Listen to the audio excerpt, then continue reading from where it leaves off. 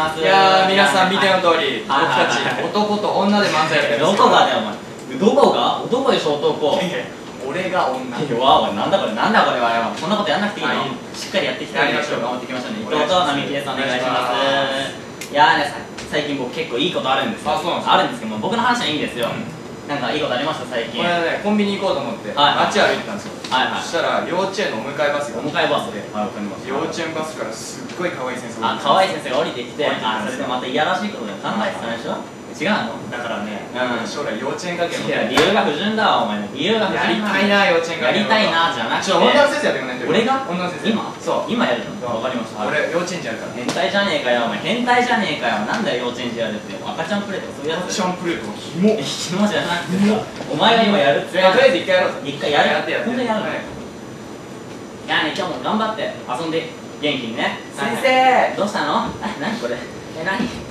え何何何？やめろやめろお前。なんだよこれは。変態がけやろ何なんだよ。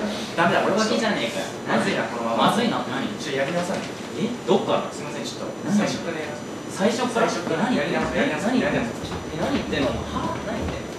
はいどう。もはい、どうも、リクエストお願いします。いやね、仕切り直し頑張って。そうですねはい。はい。い。や、最近なんかいいことありました？幼稚園バスからすごい可愛いいや、さっきと同じじゃねえかよ。お前、なんなんだよ、これよ。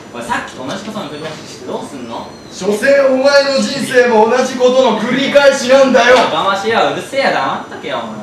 今日全然ちゃんと漫才できてないじゃじないですか。ゃあもう一回最初からやり直すもういいよ、どうもありがとうございました。